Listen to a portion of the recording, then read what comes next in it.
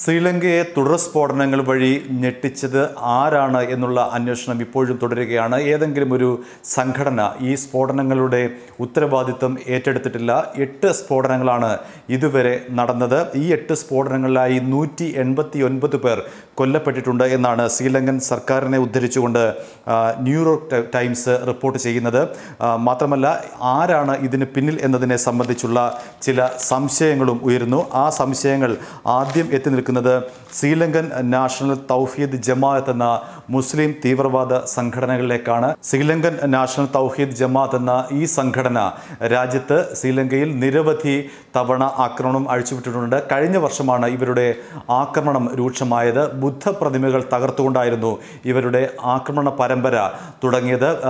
അഫ്ഗാനിസ്ഥാനിൽ താലിബാൻ ചെയ്തതുപോലെ ബുദ്ധ പ്രതിമകൾക്ക് നേരെയാണ് ഇവർ ആക്രമണം ആദ്യമായി അഴിച്ചുവിട്ടത്. ചെറുതും വലുതുമായ നിരവധി ബുദ്ധപ്രതിമകൾ ഇവർ തകർത്തിട്ടുണ്ട്.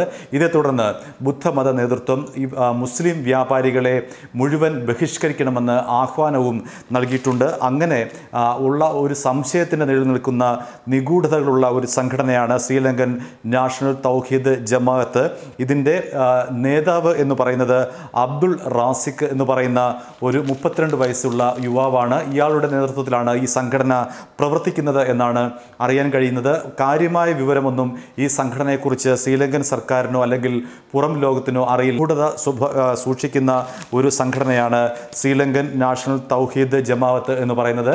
ശ്രീലങ്കയെ ആത്യന്തികമായി ഇസ്ലാമികവൽക്കരിക്കുക എന്നുള്ളതാണ് അവരുടെ ലക്ഷ്യമെന്നും പറയപ്പെടുന്നു. മാത്രമല്ല ഇപ്പോൾ നമുക്ക് ലഭിക്കുന്ന വിവരമനുസരിച്ച് ചാവേറുകൾ പള്ളികൾ ലക്ഷ്യമിട്ട് വരുന്നതായി നേരത്തെ റിപ്പോർട്ടുണ്ടായിരുന്നു ഇന്റലിജൻസ് ബ്യൂറോയ്ക്ക് ശ്രീലങ്കൻ ഇന്റലിജൻസ് ബ്യൂറോയ്ക്ക് ഇത്തരത്തിൽ ഇരുപത് ദിവസം മുൻപേ റിപ്പോർട്ടുകൾ ലഭിച്ചിരുന്നു എന്നാണ് ഒരു വിദേശ ഇന്റലിജൻസ് ഏജൻസിയാണ് എൻ എൻ ടി ജെ എന്നറിയപ്പെടുന്ന നാഷണൽ തൗഹീദ് ജമാഅത്തിന്റെ നേതൃത്വത്തിൽ ശ്രീലങ്കയിൽ ആക്രമണം നടത്തുമെന്ന് മുന്നറിയിപ്പ് നൽകിയിരിക്കുന്നത്.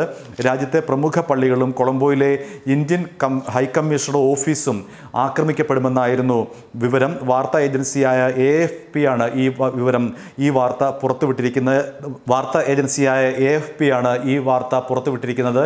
എ എഫ് പി പറഞ്ഞ പ്രകാരം ഇന്ത്യൻ ഹൈക്കമ്മീഷണറുടെ ഓഫീസും ഈ കൂട്ടത്തിൽ ആക്രമിക്കപ്പെടുമായിരുന്നു. പക്ഷേ എന്തുകൊണ്ടോ അവിടെ ആക്രമണം നടന്നിട്ടില്ല. മാത്രമല്ല ശ്രീലങ്കയുടെ പോലീസ് മേധാവി പുജത് ജയസുന്ദര ഏപ്രിൽ പതിനൊന്നിന് പോലീസിലെ ഉന്നത ഉദ്യോഗസ്ഥർക്ക് ഇന്റലിജൻസ് സൈ- ഈ ഇന്റലിജൻസിന്റെ രഹസ്യാന്വേഷണ വിഭാഗത്തിന്റെ ഇത്തരമൊരു സന്ദേശം കൈമാറുകയും ചെയ്തു. തുടർന്ന് ദേശീയ തലത്തിൽ മുന്നറിയിപ്പും ഉണ്ടായിരുന്നു.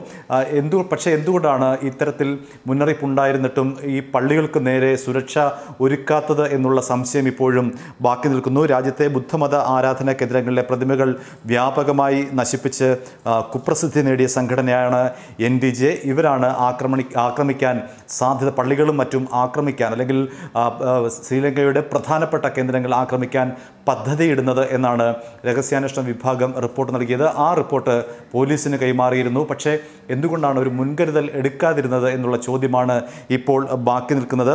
ഏതായാലും കഴിഞ്ഞ വർഷമാണ് എൻ ഡി ജെ ആക്രമണം നടത്തി ലോക ശ്രദ്ധ നേടിയത് ശ്രീലങ്കയിൽ ചെറുതും വലുതുമായിട്ടുള്ള ആക്രമണമാണ് ഇവർ നടത്തിയത്. ഈ സംഘടനയിലെ ഏഴു പേർ ഇപ്പോൾ അറസ്റ്റിലായി എന്നുള്ള സ്ഥിരീകരിക്കാത്ത ഒരു ഒരു റിപ്പോർട്ടും പുറത്തു വരുന്നു. ദ ഡെയിലി മിററാണ് ഇത് സംബന്ധിച്ച റിപ്പോർട്ട് പുറത്തുവിടുന്നത് ഏഴു പേർ അറസ്റ്റിലായിട്ടുണ്ട്. ഇവർ ഈ സംഘടനയിൽപ്പെട്ടവരാണ് എന്ന് സംശയിക്കപ്പെടുന്നു എന്നും വാർത്തകൾ പുറത്തു വരുന്നുണ്ട്. ഏതായാലും ന്യൂയോർക്ക് ടൈംസ് പറയുന്ന പ്രകാരമാണെങ്കിൽ ഈ ആക്രമണത്തിന് പിന്നിൽ പ്രവർത്തിച്ചത് ഒരു മുസ്ലിം തീവ്രവാദ ഗ്രൂപ്പാണ്. അവരെ കേന്ദ്രീകരിച്ചാണ് ഇപ്പോൾ അന്വേഷണം പുരോഗമിക്കുന്നത്. അത് ഈ പറഞ്ഞതുപോലെ തന്നെ എൻ ടി ജെ ആണെന്ന് ഉള്ള സംശയം ബലപ്പെടുകയും ചെയ്യുന്നു.